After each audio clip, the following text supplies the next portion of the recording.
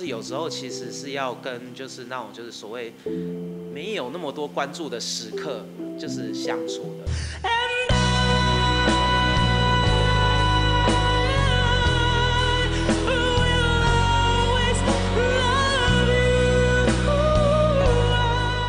因为一开始的时候，很多人觉得我只会唱英文歌。其实一开始的时候，其实也受到很多质疑，说就是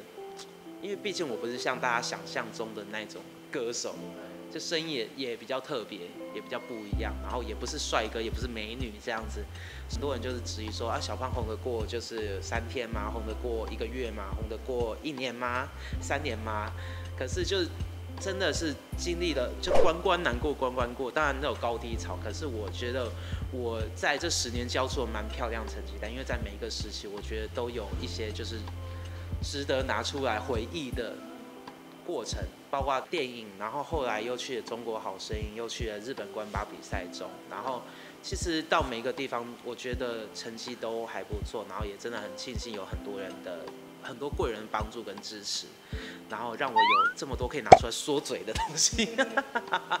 对啊，然后后来也就是呃，现有一段时间离开经纪公司，然后自己也尝试做独立做了呃自己的一张 EP，然后其实里面有一些我自己觉得蛮骄傲的作品，所以这是这些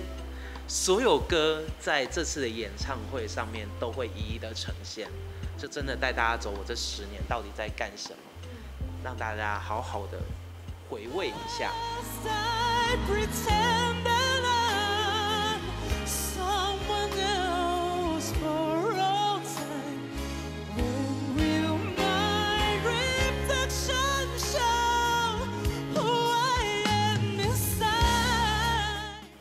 不断的轮回啊，就是因为你其实呃，大家对你关注度最高的时候，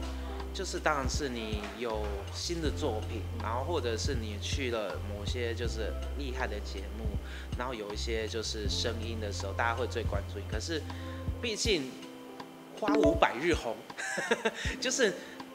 人的一生就是其实是需要 balance 的。你也我就是我也说，就是你不可能就是一年三百六十五天都在高潮的状态，不然的话就是 你也会累死。所以说就是有时候其实是要跟就是那种就是所谓没有那么多关注的时刻就是相处的，就是那个时候其实是你可以很好的沉，就是静下心来就思考你的创作、你的音乐。之前有一段时间，我觉得就是快要离开。呃前经纪公司，那个时候有一段尴尬期，就是公司也不好帮你接工作，我自己还不能接工作，那那段时间就没有太多的事情，然后我就想说，那到底要干嘛？后来就是呃自己给自己找麻烦，自己找事做，就是那段时间我大概花一个一年的时间去学日文。